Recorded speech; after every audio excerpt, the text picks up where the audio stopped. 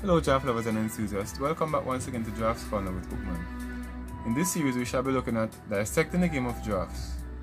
In order to understand the game more, improve your skills and get closer to mastery, these are some key aspects of the game for every player to know. Below are a few of these areas listed.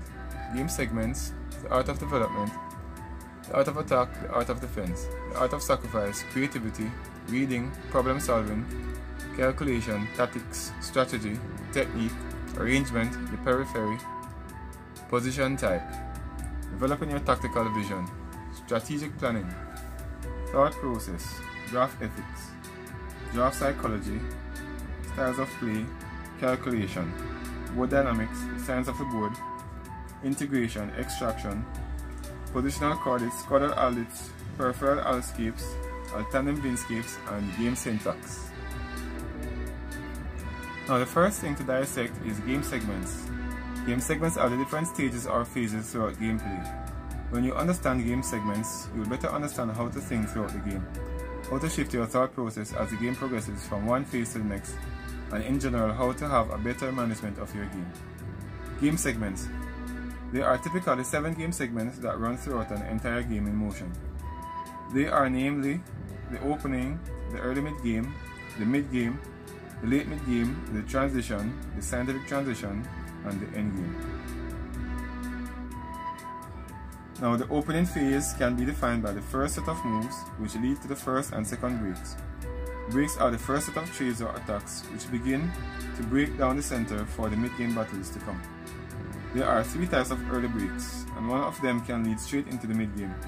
Let's break this down some more to fully dissect it.